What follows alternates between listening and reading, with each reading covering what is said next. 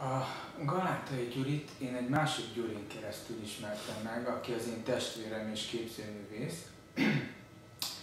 és ők valamilyen módon ismerték egymást, amit én pontosan nem tudok elmondani. Ez még lehet, hogy a, a 70-es évekre vezet vissza, de, de ezt tényleg nem tudom. És a, az én Gyuri testvéremtől kaptam, vagyis hogy nála láttam, ő mutatott nekem Art Lettert, amit, uh-huh. amit a Galántai Gyuri és a Klanica Gyuri készítettek. Tehát ez a 80-as évek alsó széle közepe lehetett, ami nekem borzasztóan imponált ez az újság, és tudok, arra gondoltam, hogy ebbe én is szívesen írnék, és amikor volt témám, akkor úgy tudtam jelentkezni a Gyurinál, hogy nem vadidegenként, noha személyesen nem ismertük egymást, de mégse, mégse idegenként kellett az ő szamizdatjának az ajtaján kopogtatni, amiről én, tehát én nem ismertem a körülményeket, naív gyerek voltam, de valam, nyilván valamilyen szinten tudtam, hogy ez nem egy hivatalos újság, én viszont újságírónak készültem. És Angliában járván, illetve a, az angol bankot, a, a ottani fenzineket, független hanglemez kiadást megismerve, személyes élményeket szerezve, úgy találtam, hogy, ez a téma, ez tökéletesen az ő általa vitt tematikába illeszkedik. Magyarán, hogy csinálni a dolgokat, csinálni az újságodat, csinálni a zenekarodat, csinálni a független lemezeidet, mintha szabad országban élnél.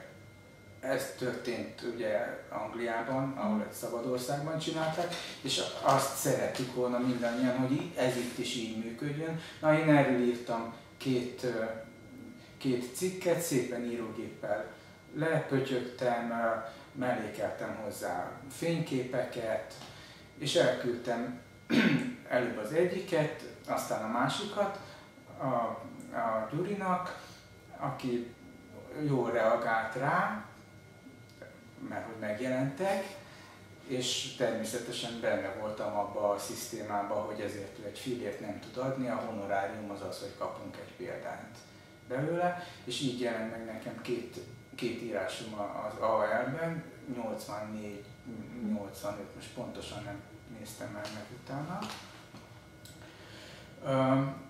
És néhány évvel később, amikor, amikor már kicsit közelebb álltam ahhoz, hogy valóban újságíró lehessek, akkor, akkor készítettem vele egy interjút a Magyar Ifjúság számára, ami a akkori KISZ nek a heti lapja volt, és volt bennem egy ilyen kis missziószerűség, ez talán tehát egy nagy szónak hangzik túl hangzatosnak, de valahol mégiscsak ez volt, hogy, hogy a, a legális szférába becsempészni olyan figurákat, akik annak a határán mozogtak.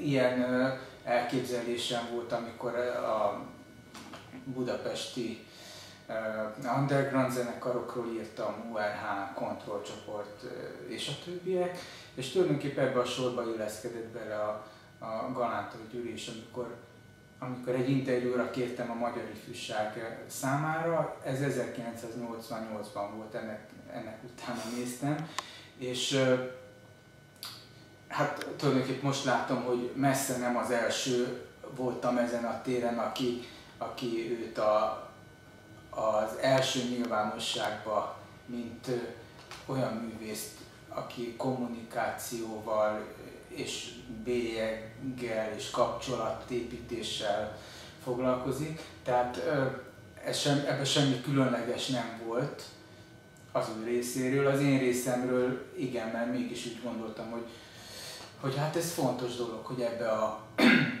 ebbe a kiszes környezetbe ez is megjelenjen, noha már az élet és irodalomban új tükörben, és még biztos más művészetben, tehát ebből a szakterületen írtak róla, és így módon jártam először náluk a, a Frankele úti lakásba, ahol hát ez egy nagy érdekes élmény volt, hogy tulajdonképpen így nézett ki az a, a lakrész rengeteg dobozzal és polccal, mint itt, csak hát mégis ők ott laktak.